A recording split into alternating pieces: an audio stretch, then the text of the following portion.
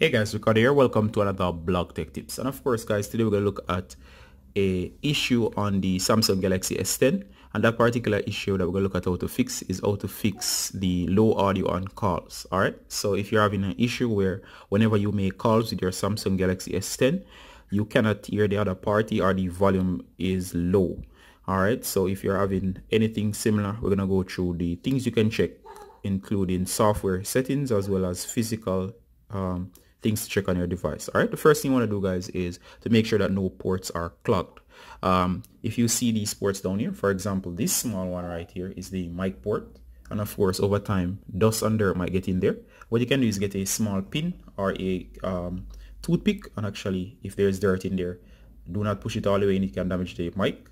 Basically, um, pick or remove the dirt that's lodged in there. Also, make sure that your speaker grills are clean and of course that includes any other grill on your phone including the earpiece up here and so on. So just make sure that none of those ports are clogged. As if they are clogged it can affect um, or cause low audio on calls. All right? The next thing you want to do guys is if you're having um, this particular issue is to make sure that your volume is turned up. If you do check it out if you hit volume up or down you'll notice that this is the main ringer. And if you tap on the option there and so on. Sometimes this can be very low and if it's low, what could happen is that it can result in you having very poor audio.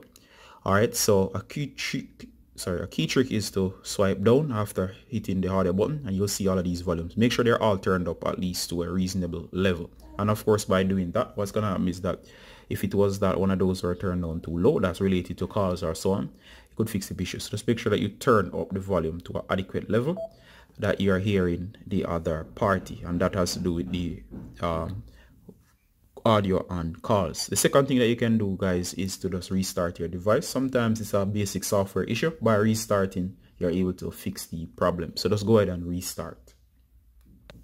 Alright, next you can check the settings. So just go into settings, go into apps, and once you're in apps, it might take a little while to load. So just go ahead and allow it to load. Then you're gonna search for phone and that's in apps. Once you find that you're gonna go to um, storage and here you're gonna go ahead and clear the cache then clear the data. By doing that of course I'm doing a reboot and um, after booting back up again go ahead and try to make your call and see if the volume improves. Another thing that you can actually do guys is to go into settings again. Once you go into settings go down to um, general management. Once you're in general management go to reset. And what you're going to reset this time is you're going to reset network settings and of course here it is. That's the second option or there on screen. So let's reset network settings. By tapping reset network settings um, you can go ahead and try again. In some cases that you'll be able to fix the problem. Um, also make sure that you update Android. So go to settings scroll down software update and download and install. Check for settings. You'll get many stability updates through these and so on. You can also update your other apps to make sure everything is up to date.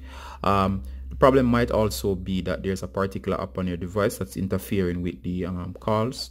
So therefore, just think um, about the last few apps that you install before you, you, notice the issue. So if, for example, it might have been the last, um, the first or second app that you install. So just go ahead and uninstall the last two apps. If the problem um, disappears, you can actually install them one at a time to find out which one specifically is causing the problem. And once you do find an alternative or update that particular app. All right? So that's the other thing that you can do guys.